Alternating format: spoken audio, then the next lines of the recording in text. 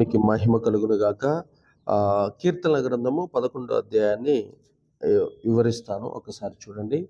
ఆ అధ్యాయంలో ఉన్నటువంటి సంగతిని మనం తెలుసుకుందాం. కీర్తనల గ్రంథము పదకొండో అధ్యాయం.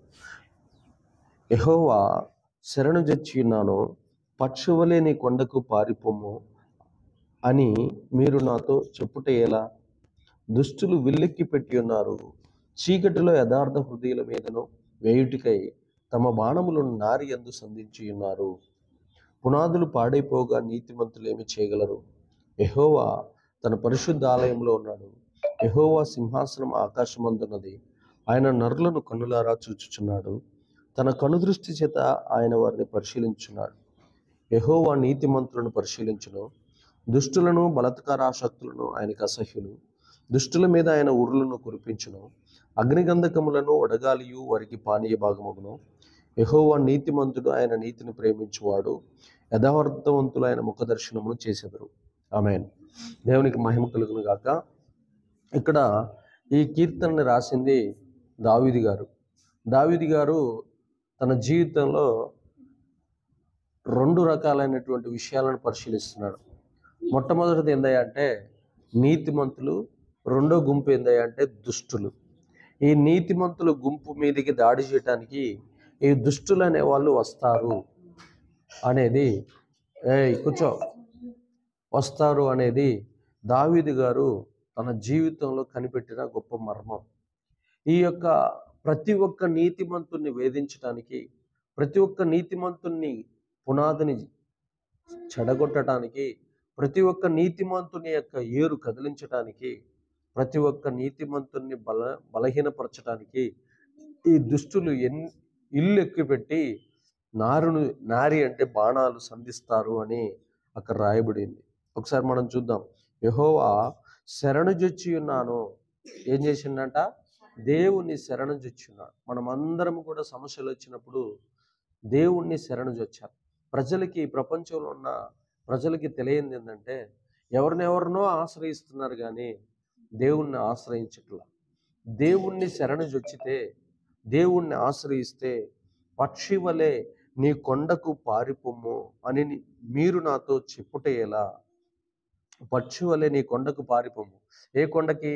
నువ్వు చేసే ప్రార్థన కొండకి మనం పారిపోమని దేవుడు మనకి చెప్తున్నాడు దేవుడే దావీతో మాట్లాడుతున్నాడు. నేను శరణజుచ్చగా నువ్వు పలానా కొండకెళ్ళమని నాకు చెప్తున్నావు అంటే మనం ప్రార్థన చేసుకోవటానికి కొండకెళ్ళాలి.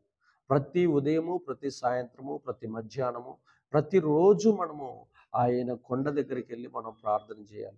ఆయన్ని శరణజొచ్చాలి రెండో విషయం అంటున్నాడు దుష్టులు విల్లెక్కి పెట్టి ఉన్నారు. అంటే మా- విల్లు అంటే ఏంటిది? బాణాలు వేసేది. దుష్టులే చీకటిలో యథార్థ హృదయుల హృదయుల మీద వేయుటికై తమ బాణములను నారి మీద నారి అందు సంధించి ఉన్నారు. ఇక్కడ ఎవరంట? దుష్టులు. మన జీవితంలో మనం నీతిమంతులుగా ఉంటాం. ఎదుటివారు లంచాలు తీసుకునేవారుగా ఉంటారు. ఎదుటివారు మోసాలు చేసేవారుగా ఉంటారు. ఎదుటివారు కబ్జాలు చేసేవారుగా ఉంటారు. ఎదుటివారు దోచుకునేవారుగా ఉంటారు. ఎదుటివారు దోపిడీ చేసేవారుగా ఉంటారు. మనము వాళ్ళని నమ్ముతాం. అయ్యో వీళ్ళు మంచోళ్ళే కదా వీళ్ళు మనోళ్ళే కదా వీళ్ళు మన బిడ్డలే కదా వీళ్ళు లేకపోతే మన బంధువులే కదా అనుకుంటాం. కానీ వారి లోపల దుష్టత్వం ఉందన్న సంగతి మనం మోసపోయినాక మనకి అర్థమవుతుంది. దుష్టులు విల్లు విల్లెక్కి పెట్టి ఉన్నారు. అంటే బాణములు ఎక్కువ పెట్టి మనల్ని చంపాలని చూస్తున్నారు. చీకటిలో ఎవరి మీద వేయటానికంట? చీకట్లో ఎవరు వేస్తున్నారో తెలియకుండా కంటికి కనపడకుండా ఏం చేస్తారంట? చీకటిలో యథార్థ హృదయుల మీద వేయటానికి ఎవరి మీద? యథార్థ హృదయుల మీదకు వేయుటకు వేయుటకై తమ బాణములు తమ బాణములు నారి అందు సంధించి ఉన్నారు. వారి పని అంటే బాణాలు లేకపోతే నిందలు లేకపోతే అవమానాలు లేకపోతే రాళ్ళేయటం లేకపోతే మోసం చేయటం ఈ దుష్టుల యొక్క లక్షణాలు దుష్ట గుణాలు అంటారు. సా ఏయ్! సాతాను యొక్క గుణాలనే దుష్ట గుణాలు అంటారు. ఈ దుష్ట గుణాలు ఎవరి లోపల అయితే ఉంటాడో దుష్టుడు వారి లోపల నివసి నివాసం ఉంటాడు. చాలా మంది తెల్ల చీరలు కట్టుకొని మంచిగా అన్య భాషలు మాట్లాడి దేవుణ్ణి ఆరాధిస్తూ కూడా వారి లోపల దుష్టత్వాలు ఉంటాయి. అంటే వారి లోపల సాతానే పనిచేస్తున్నాడు వారి లోపల అసూయ ఉంటుంది. వారి లోపల పగ ఉంటుంది. వారి లోపల ద్వేషాలు ఉంటాయి. వారి లోపల రకరకాలైనటువంటి పాపాలు నివాసం చేస్తూ ఉంటాయి. అక్కడ రాస్తున్న మాట అదే. ఏమని రాస్తున్నాడంటే దుష్టులు తమ యొక్క దుష్టత్వంతో నిండుకొని నీతిమంతులు యథార్థ హృదయుల మీద తమ యొక్క బాణములు వేయటానికి ఇల్లెక్కి పెట్టి ఉన్నారు. బాణములు సంధించి ఉన్నారు ప్రభువా అని దావిది గారు ఈ సర్వలోకంలో బ్రతుకుతూ భూలోకంలో ఉన్న మనుషుల గురించి దేవుడికి తెలియజేస్తున్నటువంటి ప్రార్థన ఇది. మూడో వచ్చిన చూడండి. పునాదులు పాడైపోగా నీతిమంతులు ఏమి చేయగలరు? పునాదులను చెడగొట్టాలని చూస్తున్నారయ్యా. మేము నీతిగా బతుకుతున్నా కానీ వారు మమ్మల్ని మేము మంచిగా బతుకుతున్నా వారు మమ్మల్ని చూసి ఓరవలేకపోతున్నారు. మేము మంచిగా జీవిస్తున్నా కానీ మా మీద దాడి చేయడానికి వస్తున్నారు. మేము మంచిగా బతుకుతున్నా కానీ మమ్మల్ని కదిలించడానికి వస్తున్నారు ప్రభువా నీతిమంతులు ఏమి చేయగలరయ్యా అని దేవుణ్ణి ప్రశ్నిస్తున్నాడు. నాలుగో వచనంలో యహోవా తన పరిశుద్ధాలయంలో ఉన్నాడు. యహోవా సింహాసనము ఆకాశమందున్నది.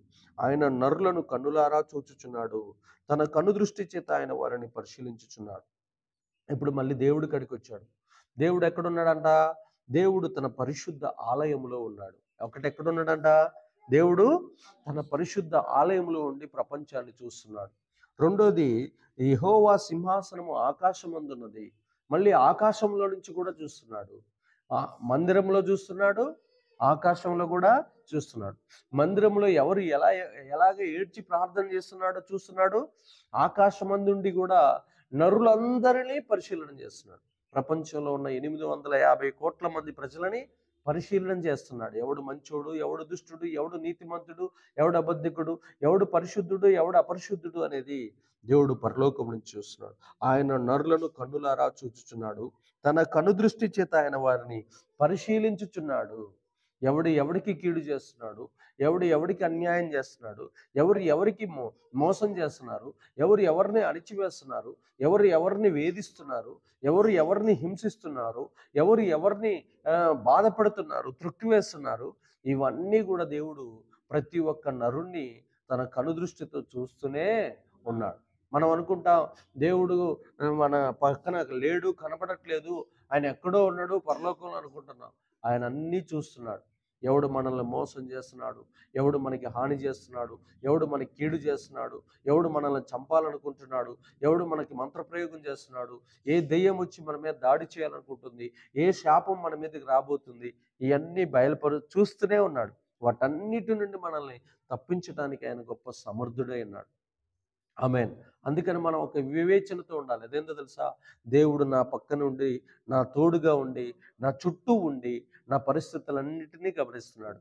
నన్ను మోసం చేయి వారి చేతిలో నుంచి నన్ను అణిచివేయాలనే వారి చేతిలో నుంచి నన్ను త్రుంచివేయాలని చే చూసే వారి చేతిలో నుంచి నా మీద నిందలేయాలనే వారి చేతిలో నుంచి నన్ను చంపాలని చూసే వారి చేతిలో నుంచి నన్ను అణిచివేయాలని చూసే వారి చేతిలో నుంచి నా దేవుడు నన్ను విడిపిస్తాడనే విశ్వాసంతో మనం ప్రార్థన చేయాలి.